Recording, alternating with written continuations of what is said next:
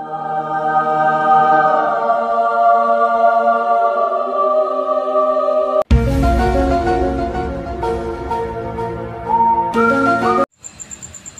guys good morning this is my second vlog यहाँ सुबह मैं अपने बच्चे के साथ थोड़ा सा टाइम स्पेंड करी थी बट ये बिज़ी था अपनी साइकिल के साथ। ये अपनी मस्ती में था। यहाँ मेरी दीदी की बेटी आई थी तो मैं इसके साथ थोड़ा सा प्यार कर रही थी, सो रही थी ये। फिर घर बहुत फैला हुआ था सुबह तो मैं अपना रूम ठीक कर रही थी। बहुत ही ज़्यादा सुबह काम हो जाता तो मैंने अपने हस्बैंड से कहा थोड़ा सा हेल्प कर दीजिए मेरा। बट वो कैमरा देखते ही वो शरमाने लगे और बस अपना मोबाइल में बिज़ी थे ऑफ़िस का काम कर रहे थे तो मुझसे बोले, अपना काम खुद कर लो। मार्केट से मैंने ये केक ऑर्डर किया था। एक्चुअली दीदी की एनिवर्सरी थी तो स्वीट्स ऑर्डर किए थे। केक बनाया था। अगर आपको रेसिपी चाहिए होगी तो मैं अपने वीडियो में शेयर करूँगी। यहाँ पर केक कटिंग हो रहा है और बाबू सो चुकी थी तो बेड पे उसको हम लोग ने सुला दिया। यहाँ पर केक, ये मेरा भतीजा है। ये केक के लिए एकदम पागल था। केक चाहिए उसको, बोलता है, जल्दी जल्दी काटिए आप। ये बंदर की तरह उछलने लगा केक के लिए। ये होममेड केक है। तो हम लोग। बहुत टेस्टी था। ये केक में अपना अलग ही बिज़ी है। और फिर मैंने यहाँ पर तड़का दाल के लिए मेरा तेल गरम हो चुका था तो मैंने जीरा डाला इस पर और प्याज मैंने डाला उसको सोटे करने के लिए। दाल मैंने पहले से बॉईल करके रखी है।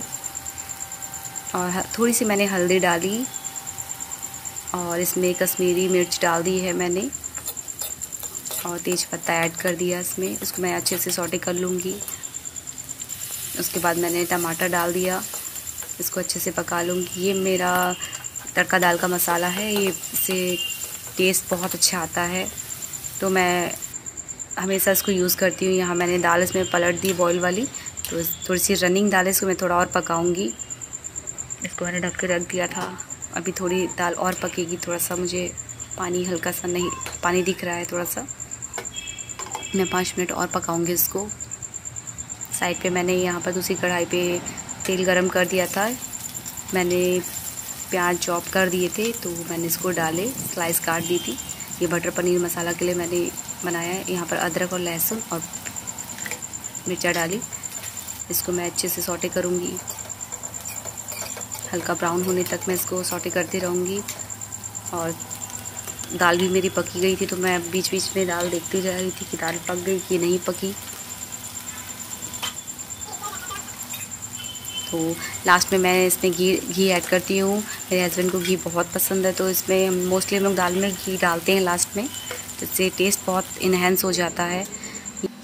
यहाँ मैंने 500 ग्राम पनीर लिया है, इसका मैं कट कर रही हूँ।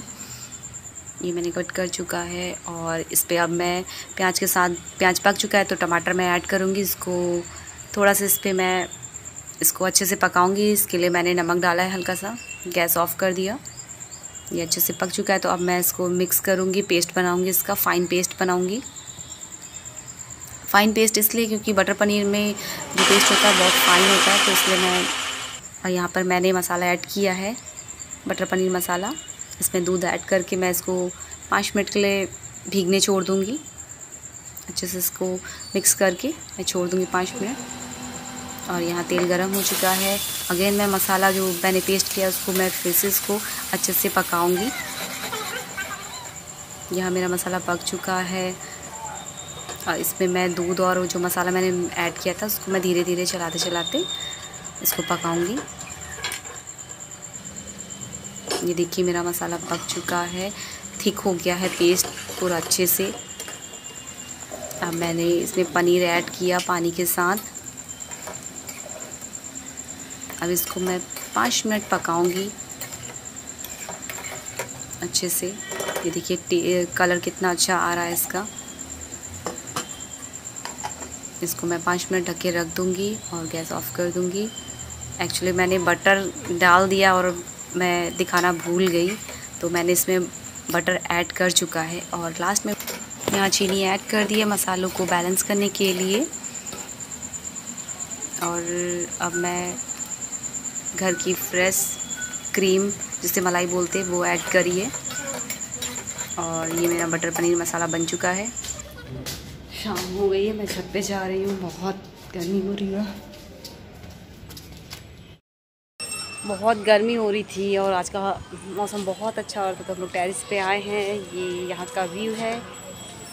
मेरे पीछे का व्यू ज़रूर देखिएगा और आज का ब्लॉग मैं यही एंड करती हूँ। बाय